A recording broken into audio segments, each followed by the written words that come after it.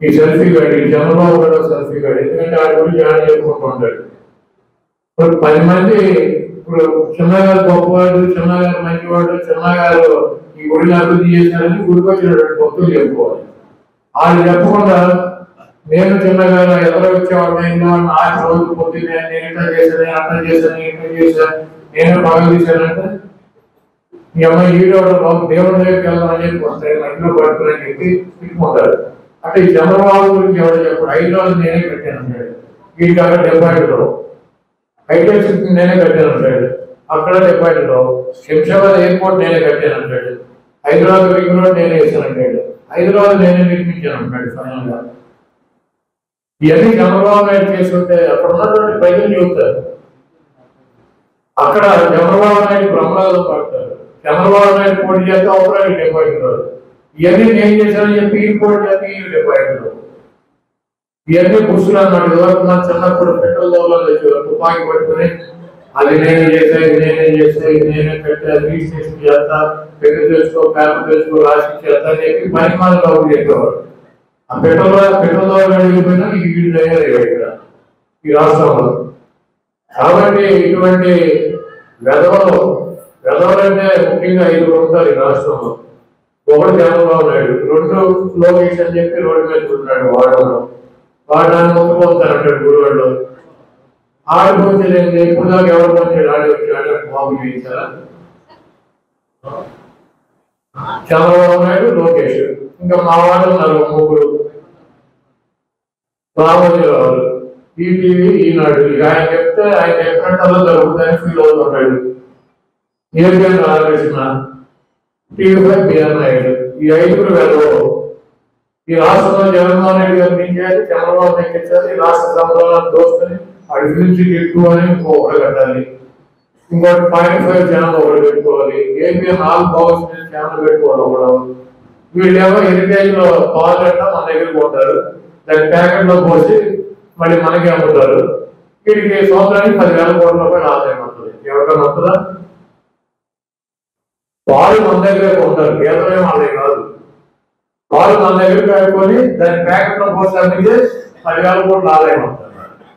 ఎన్ని పాలు వస్తుంది? ఎంత అవుతుంది ఈ కన్నాలేసి కొట్టుకొచ్చిన సొమ్మంతా పాలు కొన్నట్టు చిన్న దగ్గర వందలేము లీటరు నాని దగ్గర వందలేము లీటరు గారి దగ్గర వందలేము మా దగ్గర వంద అంటారు. మా దగ్గర గేదెలు లేవు మేకలు లేవు ఆవులు లేవు. మా దగ్గర పాలు ఎట్టుకుంటారు రాసి ఆ పాలలో అమ్మినట్టు రాస్తాడు. ఈయన మా దగ్గర కొనడానికి ఆయన దగ్గర కొన- కొన- లీటర్కి ముప్పై రూపాయలు నలభై రూపాయలు మార్జిన్ వచ్చేసింది ఆయనకి. దాంట్లో ట్వంటీ పర్సెంట్ ట్యాక్స్ కట్టేస్తాడు ఆరు రూపాయలు ముప్పై రూపాయలకి. కట్టి ఇరవై నాలుగు రూపాయలు లాభం కింద ప్రాఫిట్ కింద చూపిస్తున్నాడు లీటర్కి పాలు కొనేది లేదు అమ్మేది లేదు.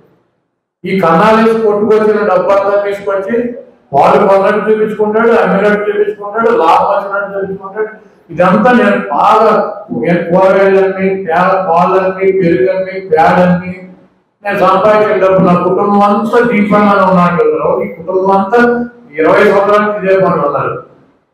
పన్నా వేసుకొచ్చిన డబ్బు రాసుకోవడం తెచ్చుకోవడం దాచుకోవడం బ్యాంకులు వేసుకోవడం పాలు కొన్నట్టు పాలు అమ్మినట్టు లీటర్ ఇరవై నాలుగు రూపాయలు మిగిలినట్టు. ఇదే వ్యాపారం. దొంగ సొమ్ము. వైట్ చేసుకోవటం. లక్ష కోట్ల రూపాయలు ఎంత సంపాదించారు? చంద్రబాబు రెండు ఎకరాలు ఇచ్చేయంటే పాలన్న పెరుగన్నా పిడకలన్నీ ఈ భారతదేశంలో పాలు పెరుగు పిడకల అందరి తల్లి కూడా అంత మిగలేదు ఒకరికే అంత మిగిలింది ఇది ఏమి సొమ్ము దీన్ని? ఇది నీట్గా సంపాదించడం నూట ఎనిమిది కోట్ల రూపాయలు దొరికితే టన్నులు అంట అంటే ఒక కోటికి ఒక టన్ను. ఒక ముప్పై ముప్పై టన్నులు ఒక స్కీల్ అంతా చిన్నగారికి సప్లై చేయాలంట. అయినే ఒక మెసేజ్ పెట్టాడు. ఇవన్నీ ఛానల్ దొరికాడు ఎవడో కాంట్రాక్టర్కి మెసేజ్ పెట్టాడు. ముప్పై టన్నులు చిన్నగారికి సప్లై చేయండి. ఓ పదిహేడు టన్నులు వెంకటేశ్వర గారికి సప్లై చేయండి. ఒక పద్నాలుగు టన్నులు అల్లం రామ్మోహన్ గారికి సప్లై చేయండి. ఏం చేస్తారు? టన్నులు తీసుకుని లక్షలు వాడుకుంటారు రైతులు పొందుతున్నారా ఎన్నికల టైంలో ఈయన అభ్యర్థులకి ఇన్ని టన్నులు సప్లై చేయండి ఇన్ని టన్నులు సప్లై చేయండి అని మెసేజ్ పెట్టాడు కాంట్రాక్టర్ ఏంటంటే టన్నులు నాకు చెప్తాడు.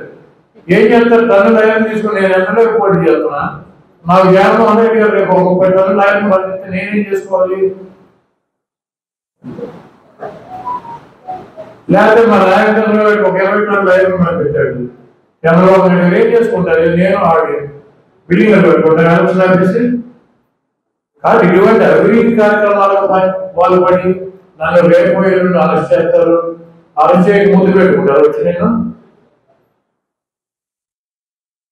ఈ గురువారం నియోజకవర్గంలో ఈ రాష్ట్రంలో కానీ జగన్మోహన్ రెడ్డి గారు చేస్తున్నటువంటి కార్యక్రమాలు ప్రతి ఒక్కరు కూడా గమనించాలి. ప్రతి ఒక్కరు కూడా జగన్మోహన్ రెడ్డి గారికి అండగా ఉండాలి. అదేవిధంగా చిన్న గారి ఇలాంటి పెద్దల్ని నమ్మకంతో ఈ గుడికి చైర్మన్గా మేము భావించినందుకు ఆయన నూటికి నూరు పర్సెంట్ ఈ దేవాలయానికి ఆయన న్యాయం చేసినటువంటి వ్యక్తిగా చిన్న గారిని మనస్ఫూర్తిగా అభినందిస్తూ ఆయన చేసేటువంటి ప్రతి కార్యక్రమానికి ఈ కమిటీ సభ్యులు కానీ ఈ గుడికి వచ్చేటువంటి పెద్దలు కానీ తోడుగా ఉండి అందరూ కలిసి ప్రభుత్వము ఈ గుడికి వచ్చేటువంటి భక్తులు డోనర్స్ ఈ కమిటీ ఈ ప్రాంతాన్ని ఈ గుడిని అభివృద్ధి చేసినందుకు మనస్ఫూర్తిగా అభినందిస్తూ ఈ కమిటీకి చైర్మన్కి కమిటీకి ఆ వేణుగోపాల స్వామి ఆశీస్సులు నిండుగా ఉండాలని చెప్పి వారు వారి కుటుంబ సభ్యులు నిండు నూరేళ్ళు ఆరోగ్యంతో ఐశ్వర్యంతో జీవించేటట్టు ఆ వేణుగోపాల స్వామి అండదండలో ఉండాలని చెప్పి కోరుకుంటూ చంద్రబాబు గారికి నోటీస్ కదా.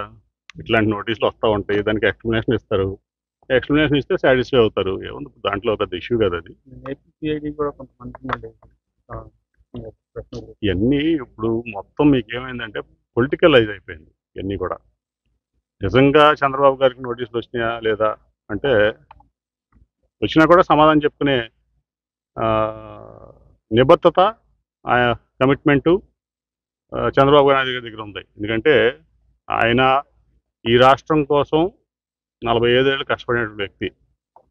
ఆయన నిస్వార్థంగా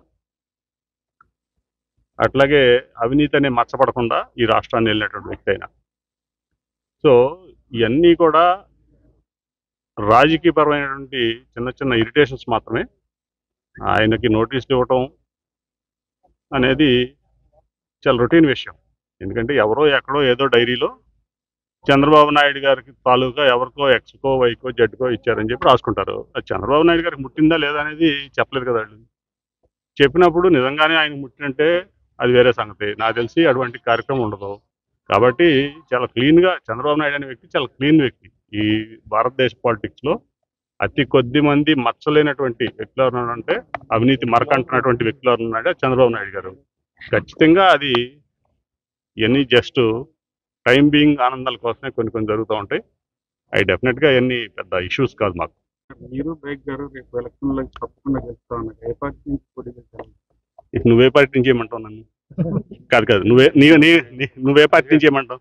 చెప్పలేదు కదా. నువ్వు చెప్పు. నేను పార్టీలో ఉన్నప్పుడు? ఏ?